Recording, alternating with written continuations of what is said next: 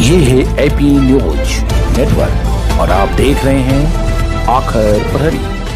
खबरों की पड़ताल तह तक कैदियों को ले जा रहे पुलिस गाड़ी में अनियंत्रित ट्रक ने टक्कर मार दी। एक कैदी की मौत हो गई। रोहतास ज़िले के विक्रमगंज अनुमंडल क्षेत्र के संजौली से है, जहाँ एक अनियंत्रित ट्रक ने कैदियों को ले जा रहे पुलिस गाड़ी में टक्कर मार दी, जिसमें राकेश गुप्ता नामक कैदी की हादसे में मौत हो गई। वह दूसरा कैदी जयप्रकाश गुप्ता घायल हो गया। दावत थाना के पुलिस ने कई धवई गाँव से दो सौ पंचानवे कार्टून अंग्रेज़ी शराब बरामद होने के मामले में इन लोगों को गिरफ़्तार किया था।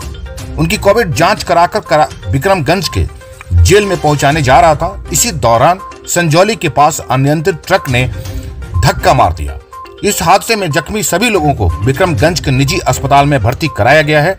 जख्मी लोगों ने दावत थाना के सिपाही कुलदीप कुमार अमित कुमार शिव नारायण सिंह तथा चौकीदार अवधेश सिंह है।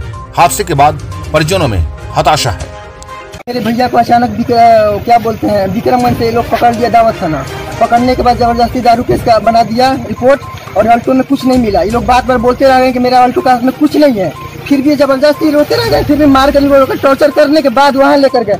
कि दावत थाना लेकर गए फिर वहाँ अगर पकड़ने के बाद अरेस्ट कर दिया रात भर हम लोग किए सब कोई आया जिला परिषद भी आया वहाँ का सब कोई बोला कि छोड़ दो बोला कि भैया कि अब ये क्या बात बनने वाला नहीं है अब तो फंस गया उस गाड़ी के साथ इसके बाद क्या बोलते हैं ये लोग कहा कि सासाराम भेजेंगे ये छूट जाएँगे दस दिन में। फिर ये लोग सासाराम आया हम लोग को भेंट भी नहीं करने दिया इसके बाद यहाँ एक्सीडेंट कर गया। आज का मैटर हुआ कि हम सुबह से वहीं पे थे कहाँ दावत थाना में। तो ये लोग बोला कि बारह बजे तक हम लेकर आ जाएँगे। बारह बजे भेंट कर लेना। हम दो बजे तक वहाँ रुके हमें क्या बोलते हैं थाना पर।